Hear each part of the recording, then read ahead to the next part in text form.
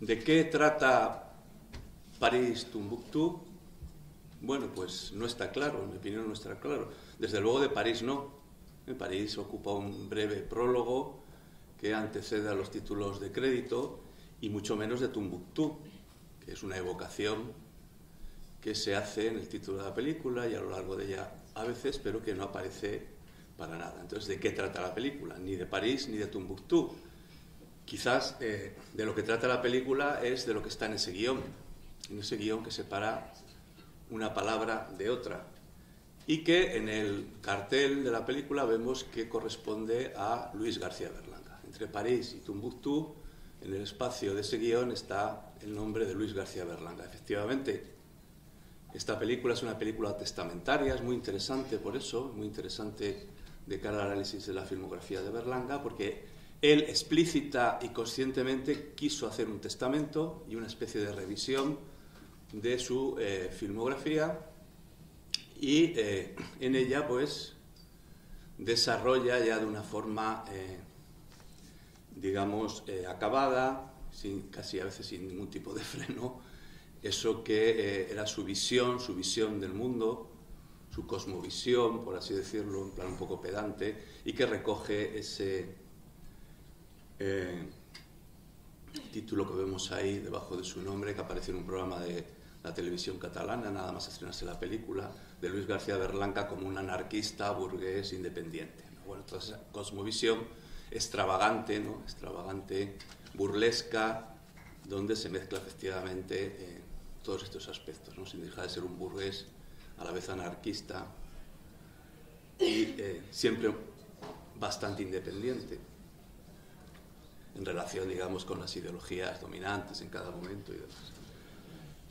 Pero esto eh, para mí es quedarse cortos porque efectivamente en la película está esa visión del mundo de Luis García Berlanga, pero no olvidemos que en esta película hay un equipo potente de guionistas. Eh, está el, escritor Antonio Gómez Rufo, Javier Amezua, pero sobre todo su hijo Jorge Berlanga, que creo que tiene un papel muy importante en esta película y eh, que moriría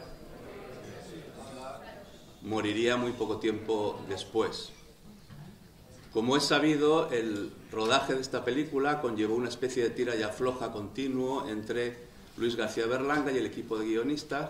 Y de hecho, si leemos el guion, que está eh, en la magnífica documentación que tiene el Berlanga Film Museum, pues vemos que eh, la película a veces se separa bastante de lo que está en el guion, en aspectos que a veces parecen anecdóticos, pero que no lo son. Hubo como un tira y afloja entre qué? Bueno, entre una especie de deseo de Berlanga de que la película fuera caótica, desorganizada, falta de unidad, como efectivamente así es, yo creo, cuando la vemos, ¿no? La vemos caótica, desorganizada, y el equipo de guionistas que intentaba estructurar aquello y darle un orden.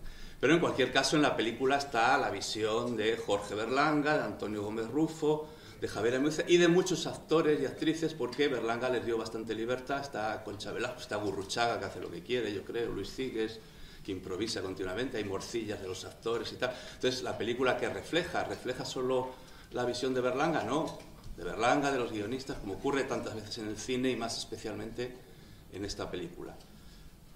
Por eso yo creo que yendo un poquito más al fondo, la pregunta que aquí nos tenemos que hacer es de qué están hechas las películas para responder de qué trata París Tumbuctú. Y las películas, alguien dirá, bueno, hombre, están hechas de imágenes fotográficas, ¿no? De diálogos. Sí, bueno, eso desde un punto de vista formalista, formal. Pero en realidad las películas están hechas de ideas. Las películas lo que son, lo que hay son ideas. Ahora bien, ideas no a las que me refería antes, de la forma de pensar de Berlanga, de los guionistas, sino ideas en el sentido filosófico de la palabra. Desde Platón tendremos que recurrir incluso a, Platón. La idea en un sentido filosófico y por tanto el análisis que voy a hacer a partir de ahora va a intentar ser lo más filosófico posible. Voy a hacer un análisis de las ideas, que son dos fundamentalmente, en mi opinión, las que hay en la película. Y a la que dedicaré a la primera idea, la más importante, le dedicaré prácticamente toda la conferencia y a la segunda solo al final. Y que tiene que ver precisamente con el tema, el título de, de la conferencia. Bueno, pues ¿cuál es la idea fundamental, la idea principal que hay en la película? Evidentemente está en ese guion, que separa París y a Tumbuctú. Está entre esa Torre Eiffel, ese brevísimo prólogo, incluso podemos decir casi, casi innecesario, casi innecesario porque ese mismo año, 1999, y este es un dato importante en el contexto de la película, se introdujo Viagra, sildenafilo. Concreto, en, España se comercializó en noviembre de 1998 con lo cual todo ese prólogo, en cierta forma, estaba ya en su momento, aunque bueno, Viagra todavía no se conocía, acababa de introducirse, mientras se rodaba la película se estaba introduciendo eh, el sildenafilo. Viagra que ha cambiado completamente el supuesto problema de Mitchell, ¿no? de la impotencia ligada a, a la edad Bueno, pues está entre ese breve prólogo de París y esas palmeras y ese eh, camello de Tumbuctú, que es algo que está evocado por tanto, la idea de la película construida sobre ese culo femenino que se refiere a una eh, escultura del escultor eh, argentino, creo que es argentino, Jack Banarsky, que aparece en la propia película y que está en un museo de París. Recordemos esa escultura con la bicicleta y el culo y demás. En ese culo, en esa falda de mujer, sobre el culo, que además aparece una escena en la película, pero yo creo como mera excusa para documentar el cartel y referirse a la escultura de Jacques Banarsky, está la película. La, idea de la película es eso que está ahí, ¿no? que está en el centro. ¿Y cuál es esa idea? Hombre, yo creo que si lo pensamos detenidamente es obvio la película. ¿De qué trata? Trata de España. ¿Eh? Esa es eh, la idea fundamental de la película. Cuidado, no de la España fenoménica, la España eh, realmente existente o la España eh, ni siquiera histórica, es una idea, idea filosófica de España, por tanto, la que aparece en la película. ¿Y qué idea de España es esa? Bueno, pues una en la que estamos atrapados todos. Aquí no es un reproche a Berlanga, ni mucho menos, porque aquí llevamos 300 años, casi 200 años, al menos atrapados o más. Pero bueno, habiéndolo asumido los españoles, más de 200 años, que es la idea eh, negro legendaria. Algo que ahora estamos eh, preparados para abordar de, forma eh, diferente después del éxito que ha tenido este maravilloso ensayo de María Elvira Roca Barea, que es el ensayo más vendido en España, que yo recuerde, no sé si alguien tiene algún dato, pero lleva casi 120.000 ejemplares, de un ensayo lleno de citas y demás, va por la 27 edición ya, es un fenómeno editorial realmente notable donde se revisa desde otro punto de vista la leyenda negra, la leyenda negra que configura esa idea de España que en mi opinión aparece en la película porque eh, Berlanga estaba atrapado en esa idea como en realidad hemos estado prácticamente todos los españoles. Que es una idea que nace en el siglo XVI en Italia, pero luego se extiende por toda Europa, aunque eh, la forma que adopta la idea de España que aparece en la película es la última, la que resulta pragmáticamente más rentable y que, eh, a la cual me referiré ahora. Por tanto, la idea de España, la idea fundamental de la película y de lo que trata la película, es una idea negro-legendaria que se basa en una pregunta, una pregunta que no se hace prácticamente en ningún país del mundo, en la pregunta ¿qué es España? Y que aparece en el discurso del rey, este rey interpretado por Julio Silva, en un puticlub, y aquí la ironía burlesca de Berlanga está en un puticlub con militares, y prostitutas, hablando el rey en el mensaje, su famoso mensaje de navideño. Vamos a oír lo que dice el rey, si se puede oír, si no, luego lo, lo leeremos. Queridos conciudadanos, queridas conciudadanas, hombres y mujeres de España, este ha sido un milenio de desgracias. Un tiempo de verdadera lucha todos los españoles. Algo que nadie sabe lo que es y que voy a intentar explicaros. Ya en tiempos de los reyes católicos, ilustres antepasados míos, se planteaba la cuestión capital.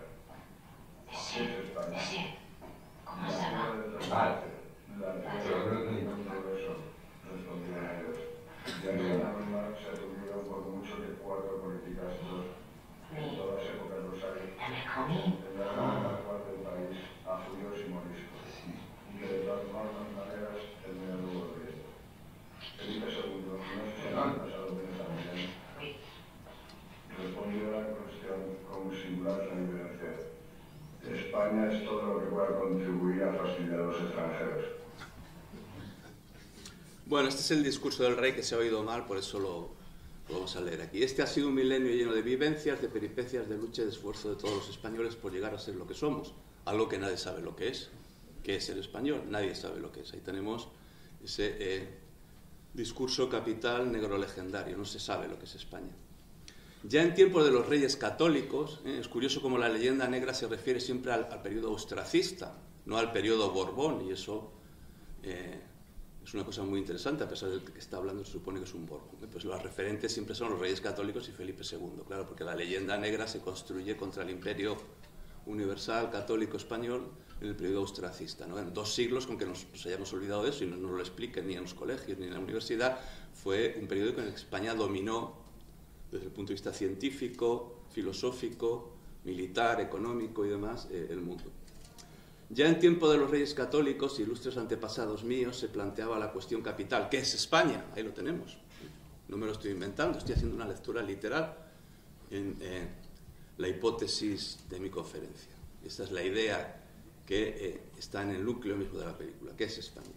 La tierra de la tolerancia, la tierra del progreso, contestaron ellos, pero por culpa de cuatro politicastros que en todas las épocas ha habido, tuvimos que evacuar del país a judíos y moriscos. esta es una, de nuevo una ironía que se les evacuó. ¿no? Cuando la leyenda negra dice que se les expulsó, a pesar de como Elvira Roca Barea, a los, a los judíos se les ha tratado mucho peor en Francia. En, bueno, en el libro está bien explicado. ¿no? le interesa este tema. Felipe II, no sé si antepasado mío también, no, no lo es, ¿no? Porque él es Borbón. Respondió a la cuestión, aunque bueno, desde un punto de vista histórico de la monarquía hispana, sí, respondió a la cuestión con singular clarividencia. España es todo lo que pueda contribuir a fastidiar a los extranjeros. ¿no? me parece la versión tremendamente burlesca, irónica de esa idea negro legendaria de España en Berlanga.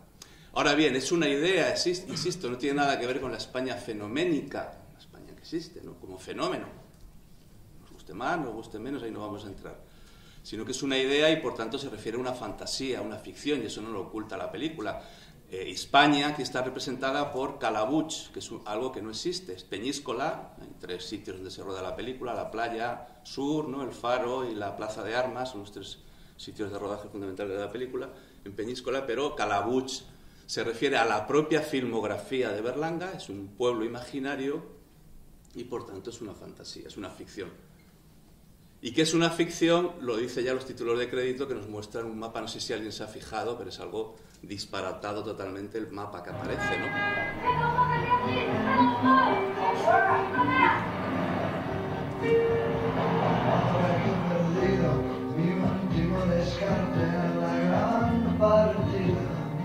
Fijémonos en el mapa.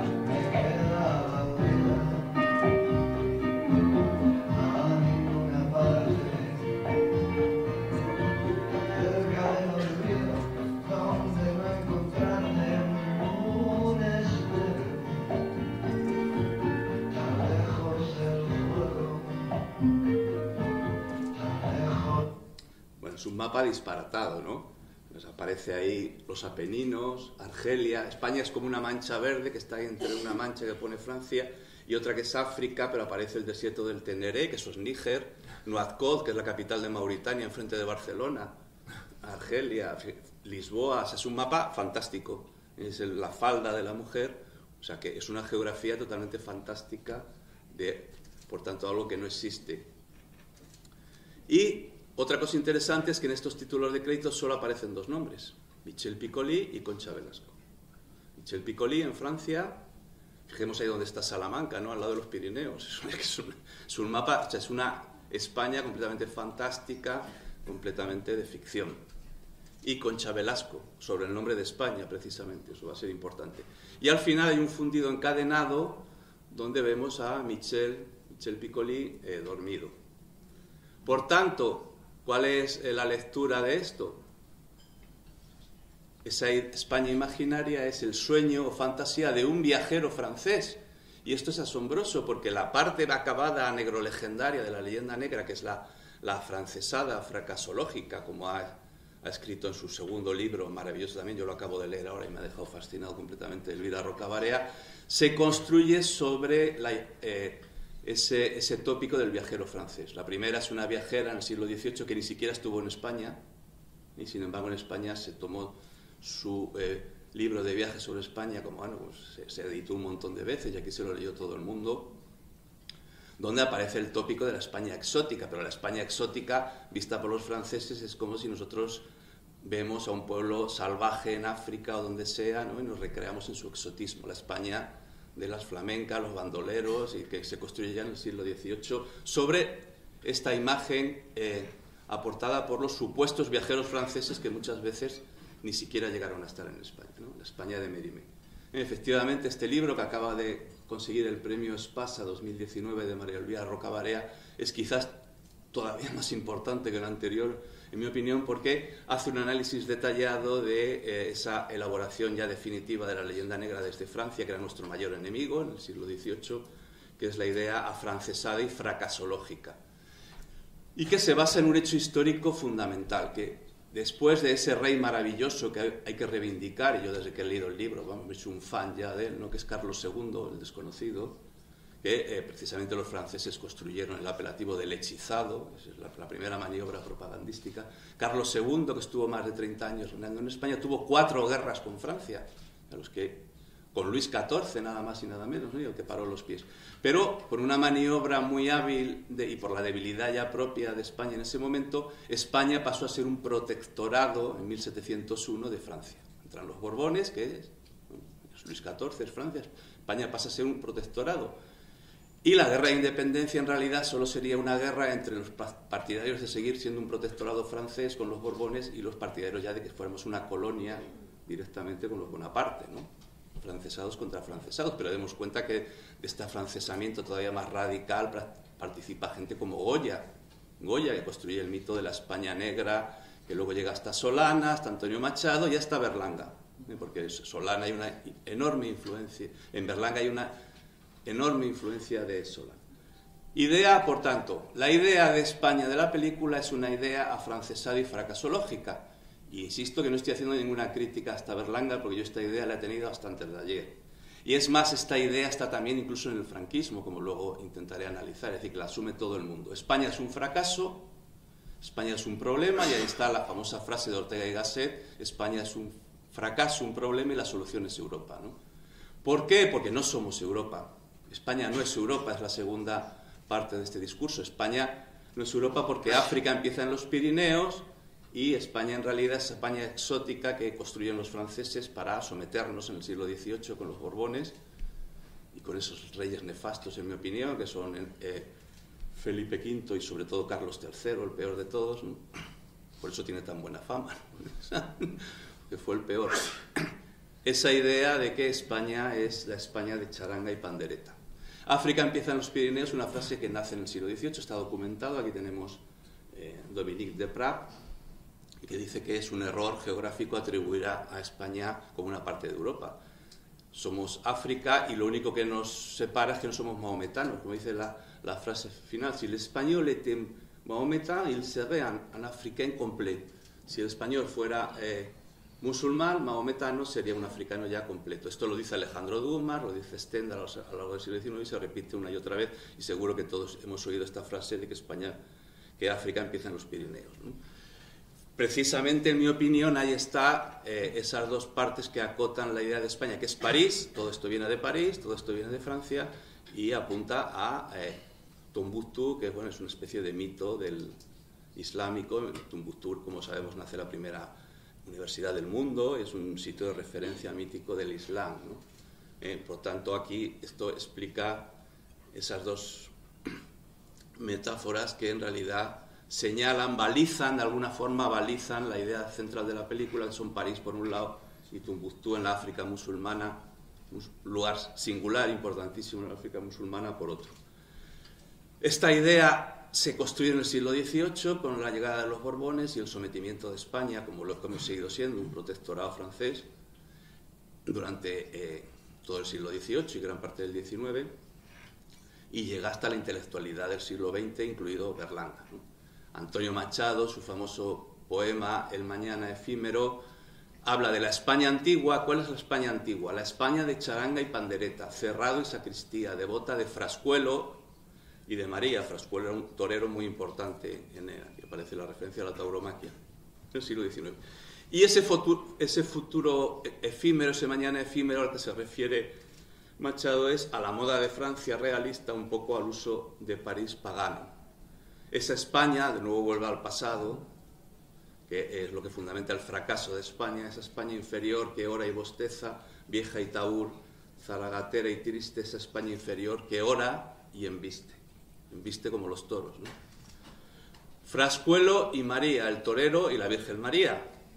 Bueno, ahí tenemos a los dos personajes protagonistas, en mi opinión, de esta película caótica y con muchos personajes, pero los dos importantes, como lo demuestra el hecho de que sean los únicos que aparecen en los títulos de crédito, que son eh, Trini, Concha Velasco y Michel, Michel Piccoli, delante de que del capote de Manolete, Frascuelo, Manolete y la Virgen María. Porque Berlanga en realidad se... Eh, eso que me refería antes, que esta película es una película testamentaria de Berlanga, pero él se proyecta en estos dos personajes, Michel y Trini. Michel, porque Berlanga dijo muchas veces que la idea de, de París Tumbuctú nace 25 eh, años antes en esa película tan curiosa en su filmografía que es Tamaño Natural y que yo he analizado y si a alguien le interesa pues está el si no estuvo aquí ese día pues está el vídeo en, eh, la cátedra de, de, Berlanga colgado donde analicé eh, Tamaño Natural una película muy peculiar de Berlanga porque Berlanga es donde sea francesa definitivamente como tantos intelectuales como Buñuel va a hacer cine a Francia Berlanga va a hacer cine a Francia y abandona un cine costumbrista, neorrealista, fundamentalmente español, por un cine de autor al gusto francés, de nuevo, al gusto de París. ¿no? Y allí nace esa idea, que conecta directamente con París Tumbuctú, lo pasa, dice Berlanga, que tardó por problemas de agenda de Michel Piccoli y suyos 25 años en hacer, pero el antecedente es tamaño natural, nace en París, nace en esa película, ese giro, esa quiebra francesada de la filmografía de, Berlanga.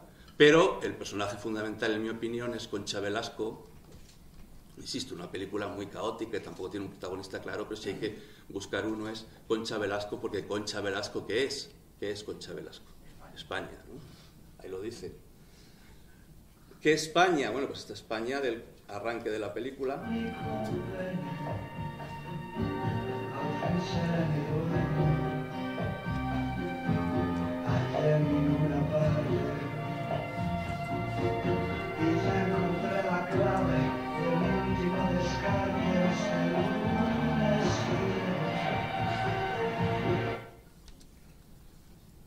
Esa España, ¿no? que está ahí metaforizada perfectamente, es la idea de España fracasológica y afrancesada, España como fracaso, España es eh, diferente, Spain is different, eso demuestra que el franquismo era también participaba de esta idea, no ese disparate que construyó el franquismo, asumiendo que España es diferente a Europa, ¿no? Somos, o sea, asume el, el discurso fracasológico y que en realidad pues, el viajero lo único que hace sirve como de nexo el viajero francés que la recorre y ya la película transcurre toda ella en esa España metaforizada que es Calabucho y que en mi opinión es Trini Concha Velasco porque en Concha Velasco está Frascuelo, está la tauromaquia y es una mujer, ¿no? Lo que tiene que ver con María. Bueno, aquí vamos a ponernos un poquito más serios y a, a, enfocar el problema como un problema filosófico partiendo de otra referencia clave en mi conferencia de otro libro súper recomendable que no en vano se publica el mismo año que se estrena la película, 1999, esto no puede ser una casualidad, y que es un libro clave en el pensamiento público español, que es España frente a Europa de Gustavo Bueno, el filósofo Gustavo Bueno. Ahora se acaba de iniciar la publicación, esto es una gran noticia, es la obra completa de Gustavo Bueno y la Fundación Gustavo Bueno, Gustavo Bueno murió en el año 2016, la Fundación Gustavo Bueno ha elegido como primer... Eh, volumen de las obras completas precisamente este libro, señalando la importancia enorme que tiene, en el que Gustavo Bueno le eh, ajusta las cuentas con Ortega y Gasset y, aporta una idea de España completamente diferente a, la fracasológica afrancesada. ¿no? Es más, le da la vuelta al enunciado y dice, Europa es el problema, España es la solución.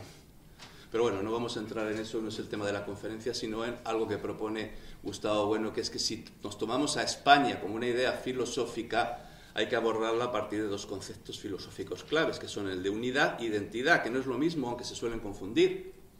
España puede ser una, una sola eh, nación política, de hecho en España hay un partido ya legal islámico que se llama el PRUNE, Partido por la Renovación y la Unidad de España. Puede ser una, una república islámica, perfectamente. Entonces sería una, ese es el problema de la unidad, pero sería con otra identidad política y cultural y antropológica. O sea, son dos problemas diferentes ¿eh? que, no hay que, que no hay que confundir en el plano político, fenomenológico, pero mucho menos en el filosófico. Referencias a la unidad, a la unidad como problema, el problema fracasológico de España, bueno, pues ahí está, que no aparece la bandera de España. Por muchos motivos, todos ellos interesantes, no vamos a discutir por qué, porque hay varios. aparece la bandera de la comunidad valenciana, con un, además con un discurso publicitario que es eh, entra en el milenio en bañador, un anuncio turístico, y luego la flamenca, por supuesto, la España de eh, Merimé, ¿no? Carmen de Merimé, ¿no? la flamenca, y el toro, Frascuelo.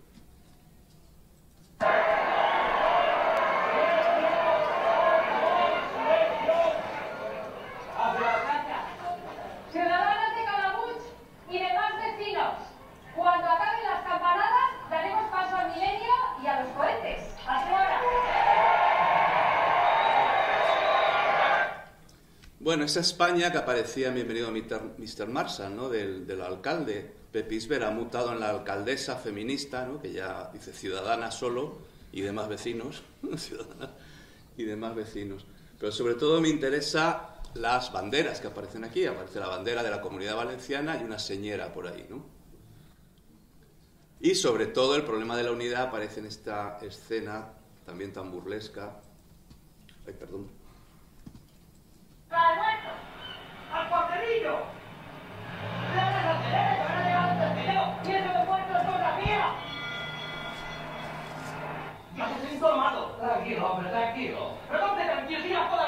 las heces. Se las heces las pintas con acrílico. Ahora si quieres te quito las tres. Si tú ahora me las pelito.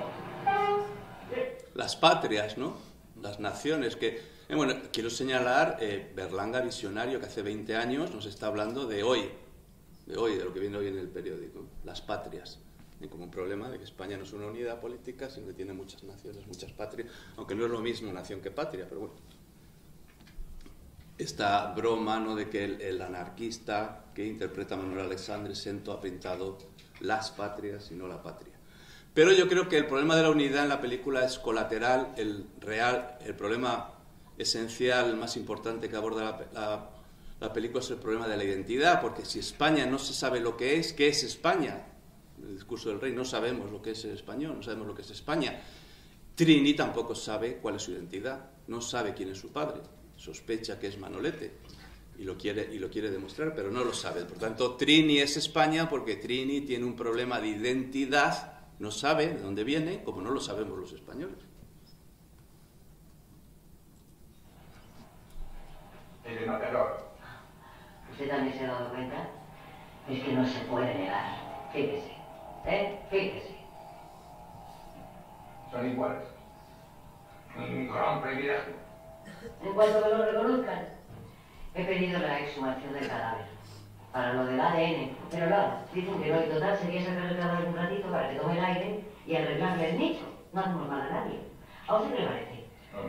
Bueno, eso de sacar el cadáver un ratito también tiene su... bueno, este problema de la identidad, de la identidad, de dónde viene la, eh, la identidad de Trini y de España, tiene aquí ahora mismo un enfoque antropológico, tiene que ver con, con Frascuelo, con la tauromaquia, con los toros y con la, la fiesta. La fiesta, si algo define a la identidad, es eh, el tipo de fiesta que se celebra.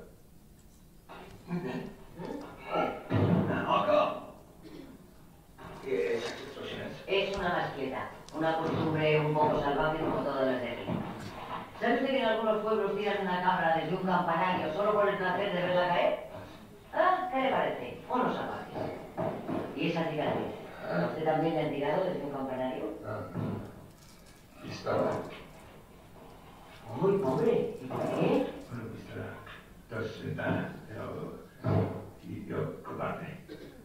Tres, tomo Bueno, pues aquí Efectivamente. Aquí queremos mucho a las personas y a los animales también. Pero... Esa pasión por los toros. en España todos amamos los toros, menos tres o cuatro cafés. Tengo usted de Atlético. He leído en Phil Affinity, ahora una de los que yo siempre leo a ver lo que se está comentando últimamente de la película, ¿no? y hay uno que tiene un montón, el primero o de los primeros, que dice que en esta película se critican los toros porque Berlanga dice que a quien le gustan los toros son unos cafres. O sea, cuando la ideología produce ceguera y sordera y de todo, es lo contrario. Dice que a quien no le gustan los toros son tres o cuatro cafres. Por tanto, aquí hay una posición muy ambigua de Berlanga frente a las fiestas que definen antropológicamente la identidad hispana, ¿no? Porque, eh, y eso ya aparece en Calabuch, y es muy interesante, aquí tendríamos que conectar con Calabuch. También hay una conferencia colgada, eh, otra película que analicé, tuve eh, la fortuna de analizar aquí también, que fue Calabuch, ¿no? que es otra película con la que conecta esta. Evidentemente, además de con tamaño natural, yo creo que son las dos referencias, ¿no? donde se, se reflejaba muy bien y se representaba el tema de la fiesta y demás. Aquí la posición de Berlanga es muy ambigua porque participa de un debate totalmente manipulado y propagandístico, ideológico que hubo en la época, que fue la fiesta del Salto de la Cabra. Yo la conozco muy bien porque se realiza, se sigue realizando todavía, aunque ahora de otra manera, en Manganeses de la Polvorosa, en Zamora. Es una fiesta reciente, esto es muy interesante, no es una fiesta muy antigua. el, el poco estudio que se ha hecho en serio, aparte de la propaganda y la manipulación, eh, demuestra que solo está documentada a partir del año 69. Es un rito iniciático que tiene que ver con el resurgir de las novatadas en la universidad, un rito de, paso en la juventud, y que tiene que ver con que en la mili a los que llegaban se les llamaba chivos, mira ahí chivo, cabra, ¿no? En esa época, por supuesto, la cabra no sufría ningún daño. Hay un testimonio de una vecina del pueblo que es la única que, eh, enfadada por esta manipulación que se estaba haciendo en la prensa y pues dijo, estudió esto y eh, una de las cosas que descubrió es que la cabra eh, siempre la, dejaba un mismo pastor y no sufrió nunca ningún daño, salvo un año que ya estaba la cabra lesionada, eh, porque la cabra se tiraba desde una ventana. Solo he encontrado este vídeo casero en muy malas condiciones, las imágenes están muy mal. Se tiraba sobre una lona, y vemos a la cabra cayendo sobre la lona, se la manteaba y luego la cabra pues en pie, se iba tranquilamente y se paseaba por el pueblo. Seguro que no es esta la idea que tenemos de la cabra y el campanario, ¿no? Seguro, La propaganda es así, ¿no? Y Berlanga, por tanto, mantiene una posición ambigua, participa de esta mentira que ha sido fundamental, lo de la España, de la cabra y el campanario, que yo la he oído hasta en Colombia. Yo estuve en la Universidad de Colombia y me salió uno diciéndome, un profesor diciéndome lo de la cabra y el campanario. No discutí con él, los engañados se engañan, decía Lacan, y no hay forma de desengañarlos, porque hay un interés en ese engaño. Ahora, lo que me interesa es cómo esta posición ambigua de eh, Berlanga, que por un lado, y que bueno, yo creo que define muy bien a, Berlanga, que por un, bien asume, por un lado asume la leyenda negra y todos los tópicos que, que la acompañan, pero por otro lado capta que en la antropología de la mascletá, de la fiesta de moros y cristianos, de la tauromaquia, de los bous al carrer y demás, pues, como ocurría en Calabuch, hay algo importante, es la conexión que hay con la religión. Es decir, la España de Frascuelo, de, la tauromaquia, de las fiestas populares, la España de María, que ahora y bosteza, ahora y embiste. Y que tiene que ver directamente con el tema de los extranjeros. Fastidiaron a los extranjeros, judíos y moriscos, otras religiones, ¿no? el Islam y los judíos. Los extranjeros y aquí aparece el tema, claro, un tema ligado a la identidad, y aquí Berlanga de nuevo es visionario de los extranjeros, y como la, xenofobia, que dice muy graciosamente el, personaje, eh, xenofilia, dice justo lo contrario, se le atribuye a un personaje que es, que es un extranjero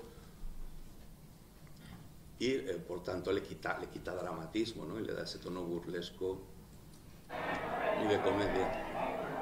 ¿Ha visto, señor Michel, un regreso extranjero? Y después lo quitan a puesto de centrocampista. No hay derecho humano. La persona no así. Y tú tienes mucha. ¿Qué se dice, Mora? Bueno, tú te lo del chaco. Hola, mira quién habla. Papá, papá, papá. A cama. Eso lo paga Vicente. Y te lo paga Vicente, capullo sin casa. La naranja. Va, va. Él viene pudiendo jugarte el arroz en lugar de enviarlo a pueblo chino.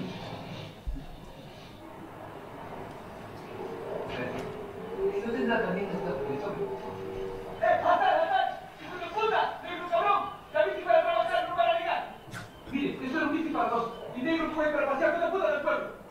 No, todos también esos checos, ¿no? Que aquí, bueno, esto le permite a veces una, una, deformación burlesca del tema del extranjero, porque esto le permite hablar de lo que siempre hablaba Berlanga en todas sus películas, del imperio austrohúngaro. ¿no?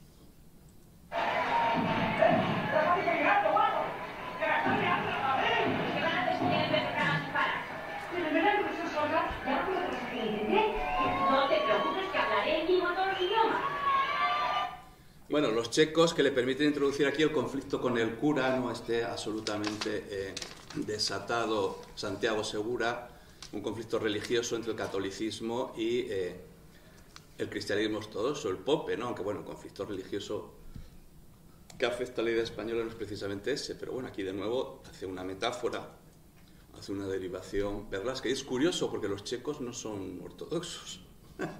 es más, es el país más ateo y descreído del mundo después de China y Japón, Checoslovaquia, Checo, la República Checa, no sé por qué. Y si han sido algo, y la minoría más prevalente que hay ahora mismo en, en la República Checa son los católicos. Pero bueno, él les atribuye al Pope y ya está.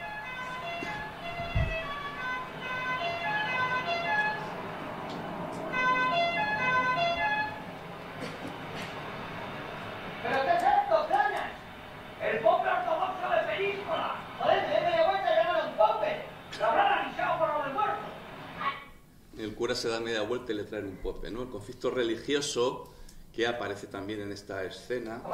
No sé, a la OTAN, a la Generalitat, a, la Comisaría de Higiene de Bruselas. Profe, con el PIS. Eh, ¿tú dónde vas?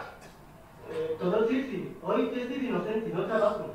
Fiesta inocente, fiesta inocente. Pero joder, hay que celebrar todas las fiestas. Las cristianas, las musulmanas, las animistas.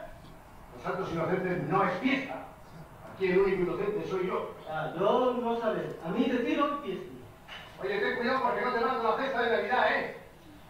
De Navidad, efectivamente, la película transcurre en Navidad. Ahí está esa plaza con los, eh, las luces de Navidad en la que la torre de la iglesia va a estallar.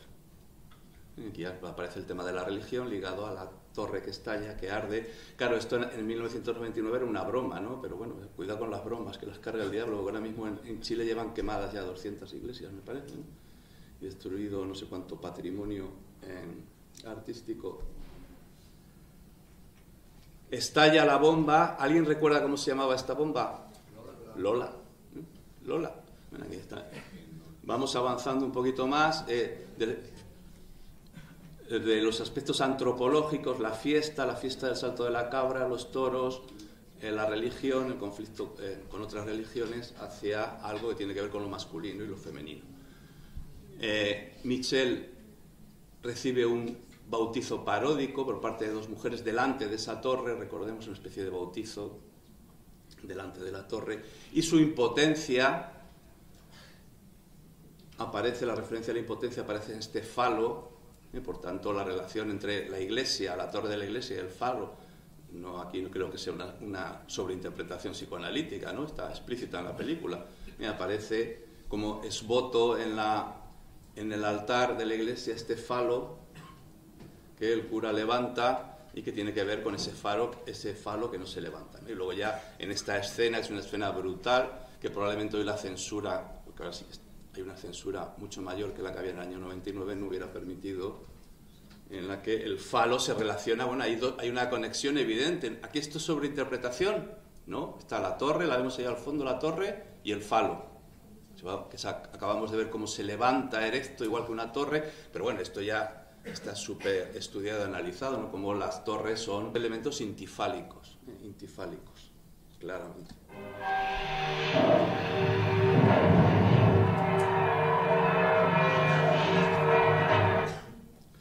Por tanto, hemos avanzado un poquito más. ¿eh? Lola, ese nombre femenino, destruye esa torre fálica que tiene que ver con lo del hombre impotente.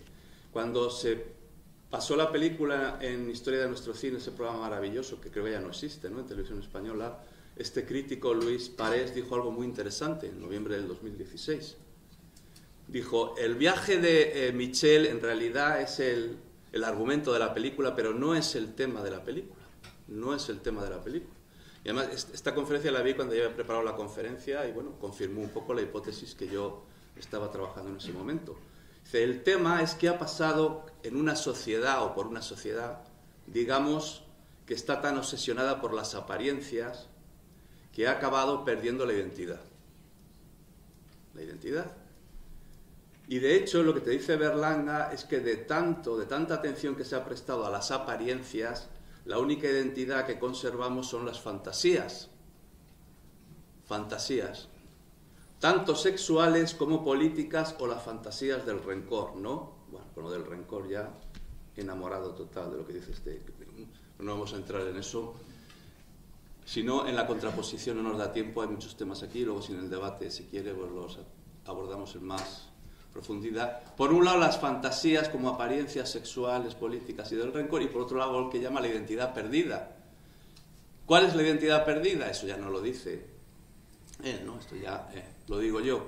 Pues esa identidad perdida tiene que ver, lógicamente, con el padre. Porque eh, se hace burla del padre, Michel no es el padre de su hijo. No, es que sea no que sea impotente, que eso puede ser un problema ligado a su edad, digamos. No, no. Es que no es, es impotente, pero además no es el padre de su hijo. Tengo que hablar. Oye, ¿por qué? Me ha dicho tu señor que no te preocupes por su hijo. Que no es tuyo. Venga,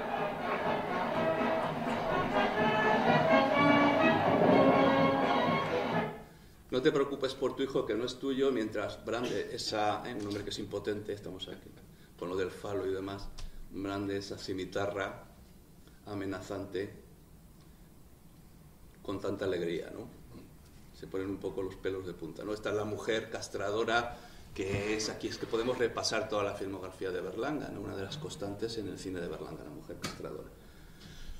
Pero en tanto, más que el tema de Lola, la bomba que echa abajo, el falo eh, de la iglesia o esta mujer castradora, el hecho de que Michel Piccoli no sea padre. Por cierto, que Michel Piccoli está llamando continuamente por teléfono y ni en el guion, ni en ninguno de los comentarios que he leído de la película se explica quién llama continuamente por teléfono. Si alguien no lo puede resolver luego, porque en ningún sitio, no aparece en el guion para nada esas escenas en las que él llama por teléfono y nadie le coge el teléfono. Es una cosa muy interesante, aquí yo no lo puedo Ahora lo que me interesa es la conexión que existe entre padre y patria.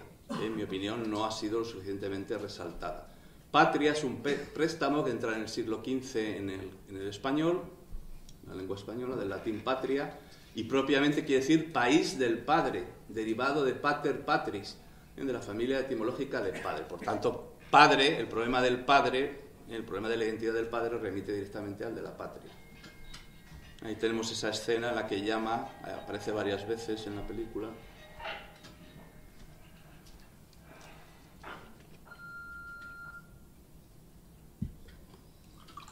Aquí tiene. Ya lo puede usted recoger, señora. Pero lo han analizado bien. A, ver si doctor. Con segunda muestra. Hombre, absolutamente. Tres análisis exhaustivos. Vamos.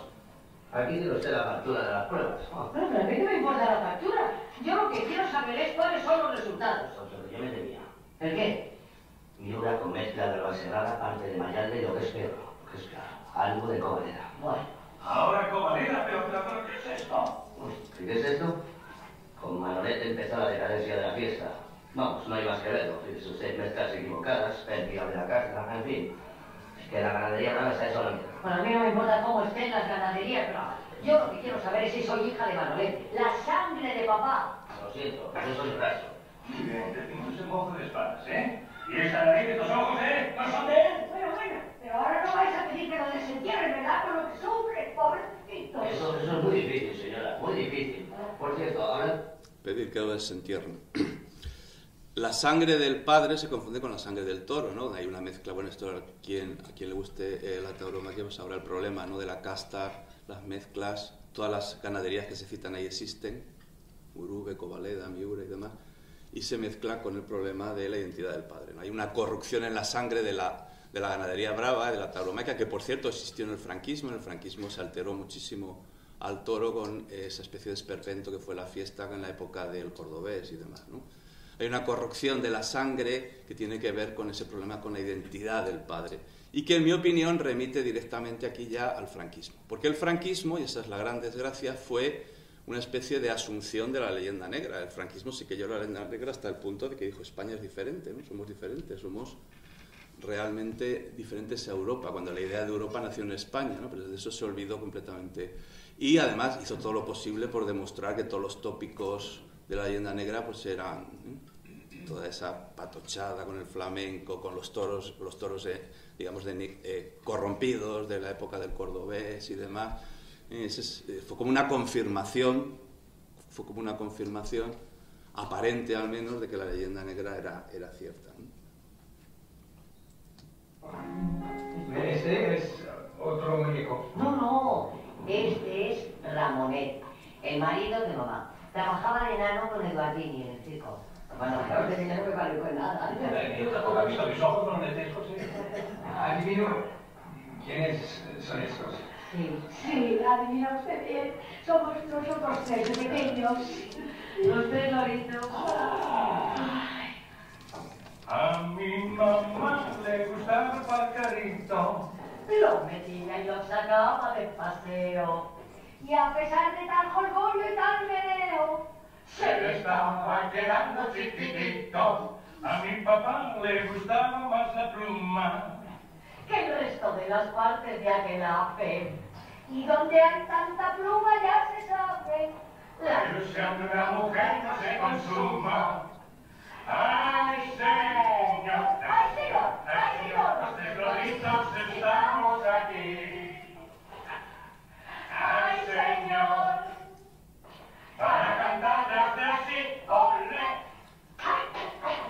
Para mí esta es una de las escenas más logradas de la película, una película que no tiene unidad, por cierto, ¿eh? es caótica y no tiene unidad y eso entronca directamente con el problema de la unidad porque es una escena, bueno, la letra es de Jorge Berlanga, de Javier Amezúa también, de Jorge Berlanga, y enlaza directamente con la movida, con la época de la movida, con el cine de Almodóvar. Aquí podríamos hacer una conexión muy interesante. Y con Gurruchaga, que también es un representante de la movida. Jorge Berlanga, el hijo de Berlanga, que murió en el 2011, era eh, uno de los, de los eh, emblemas de la movida, ¿no? Como dice, fue uno de, esto lo dice Wikipedia, fue uno de los promotores y asidos de la noche de la movida madrileña en los meses previos a su óbito estaba preparando un musical en homenaje a la movida llamado ¿A quién le importa? Bueno, esa referencia al pajarito del padre, que es chiquitito, el padre era enano y además tiene un pajarito chiquitito que no contentaba a la madre porque además el padre se sugiere era homosexual, ¿no? Le gustaban las plumas, tenía pluma. Eh, tiene que ver con una inversión, una inversión que se produjo eh, tras la muerte de Franco y tras el fin del franquismo, en el que el movimiento, que era como se, conocía popularmente el, régimen de Franco, los más viejos de aquí, si es que hay alguno ya que se acuerda de esto, se llamaba el movimiento, ¿no? Se decía, este es adicto al movimiento, no es adicto al movimiento, se transformó el masculino en femenino, del movimiento a la movida, y esto es algo que no nos, nos tiene que escapar, ¿eh? donde en la película de una forma eh, desplazada o metafórica aparece la referencia a través yo creo que de Jorge Berlanga a esa inversión a esa inversión. Y que en mi opinión también aparece en el personaje de Luis Sigues está genial interpretando al ciclista. Fijaros esa posición que tiene ahí claramente eh, que remite a Franco al caudillo y en el, hecho de que se llame Federico Bahamonde, que era el segundo apellido, Francisco Franco Bahamonde, cuando en el guion de la película, que está en el, film, Berlanga Film Museo, aparece como Federico Bahamontes, ciclista que todavía vive, por cierto, tiene 92 años ya, ¿no? Todavía vive Federico Bahamontes, que es uno de los emblemas también de la época del franquismo, que ganó el Tour, un solo Tour en el año 61, quiero recordar. Esto remite a la afición que tenía Berlanga al ciclismo y demás. Pero lo interesante es que en el guion no aparecía. Esto probablemente se cambió durante el rodaje y se le cambió el apellido del ciclista, que es Federico Bahamontes, por el de Franco, Federico Bahamonde. Por cierto, y esto como anécdota, en investigando para la película he descubierto que la primera referencia por escrito que hay al, ciclista Federico Martín Bahamonde de Toledo fue una prueba que quedó el segundo, la Vuelta Ciclista Ávila de 1951, y ahí se llamaba Bahamonde. Y esto es una discusión historiográfica que dejo aquí por si algún estudiante quiere, porque en la universidad tenemos que tomar estas cosas en serio, investigar estos temas en serio. Si no lo hacemos en la universidad no sé dónde lo vamos a hacer, así que lo dejo por ahí, que investigue si Bahamonte realmente se cambió el apellido o no y por qué en la película se cambia el apellido. Bueno, yo aquí lo planteo como una demostración de que está Franco ahí de alguna forma, pero elidido, ¿no? Porque la que aparece es Carmen Polo de Franco. Este es Gustavo Rey. Aquí con Matías Prat. Aquí con Hemingway. Hemingway, ¿eh? Ah, sí. Y aquí en el fardo con Doña Carmen Polo de Franco. Este es... Doña Carmen Polo de Franco con la madre, ¿no? Con esa madre muy excitable sexualmente, vamos a decirlo, ¿no? Y que probablemente fue amante de Manolete, con esa especie de ventríloco, aquí aparece el tema del ventríloco, que aparece también en la película, ¿no? El enano que está sentado en sus rodillas como si fuera un ventrículo, como si lo maneje, que claramente remite también, en mi opinión, a la figura de Franco, que siempre se le tachó de bajito, ¿no? Franquito le llamaban sus propios colegas, bastante bajito. Y la mujer poderosa que, que lo maneja y en esa foto de los tres loritos, donde claramente en la foto, en el encuadre de la foto, aparece ya algo, que es lo que aparece en la, en la foto. Si nos fijamos detenidamente, un sillón vacío. Lo vemos ahí al fondo, el sillón vacío en la izquierda, el sillón de la ausencia del padre. Por tanto, efectivamente, aquí es donde el problema de la identidad, también de la unidad, y la idea de España se enlaza directamente con el franquismo como la demostración ya última, definitiva de toda esa idea fracasológica en eh, alguien que no sabe estar eh, a la altura de lo que debe estar, ¿no? y que conecta directamente con esa, esa, referencia al padre que establece la conexión, la redundancia entre padre y patria. La patria aquí, como problema filosófico, remite directamente al problema del padre. Bueno, todo esto, y con esto ya acabo, estamos bien, ¿no? De tiempo. Enlaza con la segunda y última idea. Si en la película hay una idea importante, que es la idea de España, a la que me he referido, en la que Berlanga, que Berlanga asume con una ambigüedad eh, y una clarividencia digna de elogio, las dos cosas, la ambigüedad y porque no, no, asume esta idea sin más, sino que la, la problematiza. Lo hemos visto en el ejemplo de las fiestas, de las fiestas con animales, por ejemplo, el salto de la cabra los toros y demás que dice que, que, la mascleta es una salvajada, pero los que eh, no les gustan los toros son cafres, ¿no? Hemos visto ahí de una forma bastante explícita. Pero en, general, toda eh, esa idea fracasológica de España está asumida con ambigüedad, como ahora veremos por el final de la película. Pero esto enlaza con otra idea de que eh, ese problema de la identidad que tiene y por tanto con lo que da sentido, con lo que da sentido a nuestra existencia, remite directamente al fracaso, a la idea de fracaso, y, esto es lo interesante, al fracaso de la propia eh, comedia del propio género que, en cierta forma, eh, cultivó eh, predominantemente Berlanga, que es la comedia, aunque con excepciones donde eso se quiebra y la más notable es Tamaño Natural, que como ya digo enlaza directamente con esta película. Aquí la comedia fracasa. Este es un tema muy interesante. Y en un programa que se hizo en la televisión valenciana, Canal Nou, eh, creo que se llamaba La Torre de Marfil, creo recordar, lo hacía Fernández Sánchez Dragó. Nada más estrenarse la película, se habla de esto precisamente, ¿eh? de cómo la película en su momento alguien me ha dicho, bueno, ahora estamos proyectando la película y casi no se ríe nadie. digo, no, es que nunca se ha reído nadie con esta película. ¿eh? Es que es una comedia fracasada, en cierta forma. Tiene momentos muy divertidos y tal, se les una sonrisa y tal, pero... Y eso ya se planteó en el mismo estreno. cuando la vi en aquella época, pues tampoco se reía nadie o casi nadie en el cine. Bueno, intentaba decir que a mí me llamó la atención durante la proyección de la película el hecho de que en muchos momentos en los que había que reír, y en fin, así estaba previsto, yo supongo el guion, la gente no se reía. Pero yo creo que no era porque no funcionaba el mecanismo de la risa. Sí que funcionaba el mecanismo de la risa, pero yo creo que la gente, quizás subconscientemente, se daba cuenta de que aquello no era para reírse, de que lo que estaban viendo era bastante más grave. Eh, no sé si vosotros compartís esta Bueno, Berlanga dice en esta entrevista, no la vamos a poner entera, que es bastante dura, tres cuartos de hora eh, dice que él no va a ver sus películas después de hacerlas, entonces no, no se había enterado y opina también de esto. pero creía que señas, señas iban a poner caso con el tango final y esto. Y que además pues, era una, una comedia y una comedia de risa, pero bueno, parece que desde un principio la gente se ha dado cuenta de la seriedad y se da cuenta de la seriedad y entonces me jode porque no se ríe.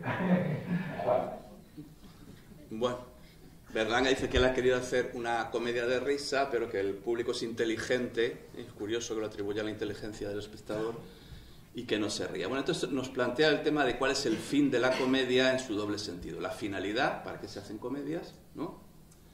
Y, y el fin de la comedia, porque aquí es el fin de la comedia de Berlanga, su última película, y también el fracaso de ese género.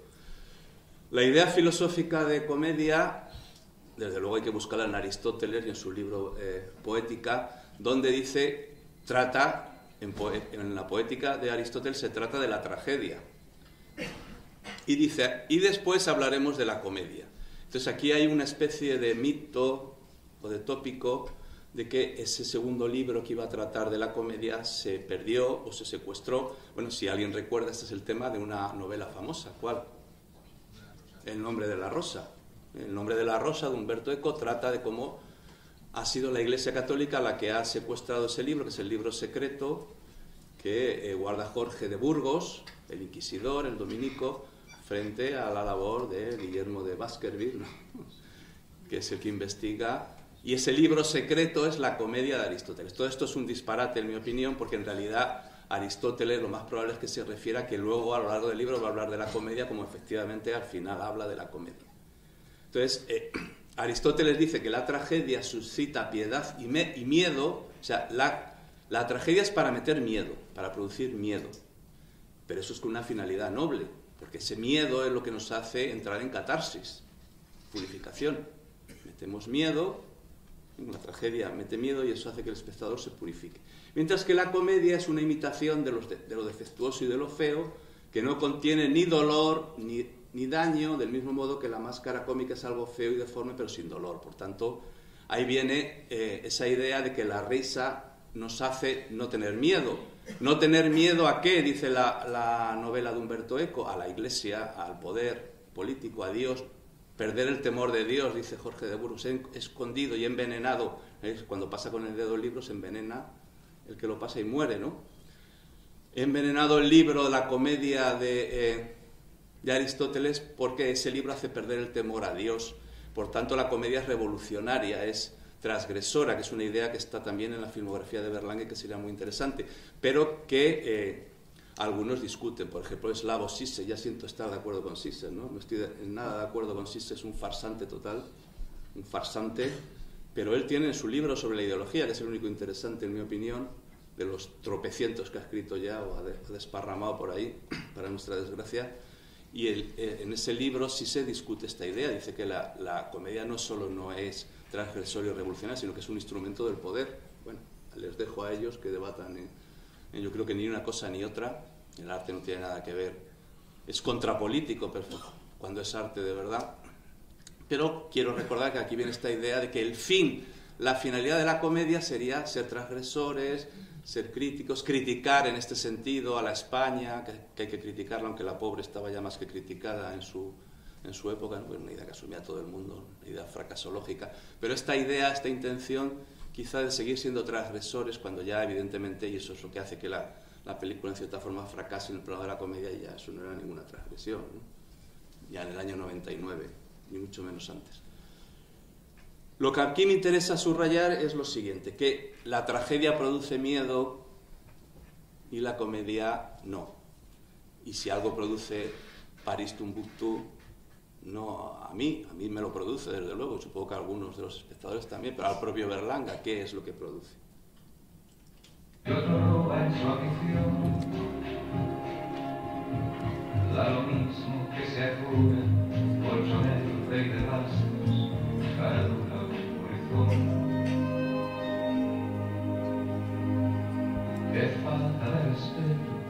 que atropella una razón, Juan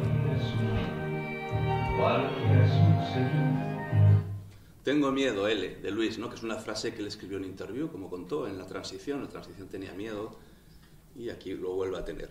¿eh? Evidentemente es la imagen de España, es España todo lo fracasológica y todo lo eh, problematizada en su unidad e identidad que queráis, pero que al final de la película se ha derrumbado. Fijaros cómo está pintarrajeado, la bandera se ha caído, el cuerno caído todo se ha caído, todo se ha desplomado, España se ha desplomado y esto a Berlanga, visionario, como buen artista que es, hace 20 años le producía miedo.